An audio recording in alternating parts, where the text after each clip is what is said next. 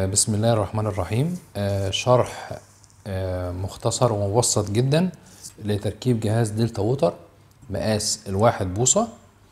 آه، الجهاز طبعا بيكون عليه سهم بيوضح اتجاه المية من المصدر.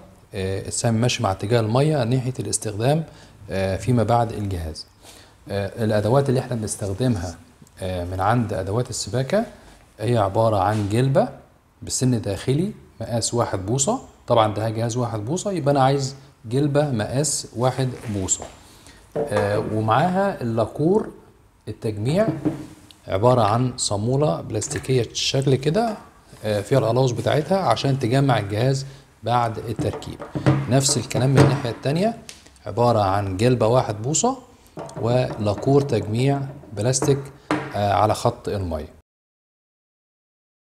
اللي بيتم إن إحنا بنجمع جزء من ال- ال- ال- اللاكور مع ال- الجلب مع الجلبة بنظام آه، لحام. آه، الجلبة دي بيتم تركيبها في الجهاز.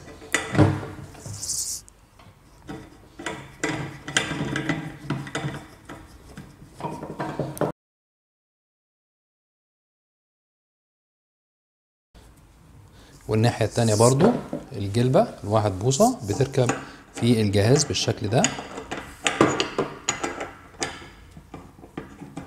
بنجمع للآخر طبعا. على آخر السن ما بيشتغل معانا.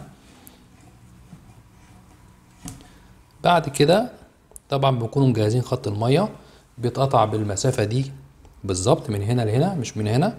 بنقيس المسافة دي وبنقطع على قدها من خط المية البلاستيك. وبعد كده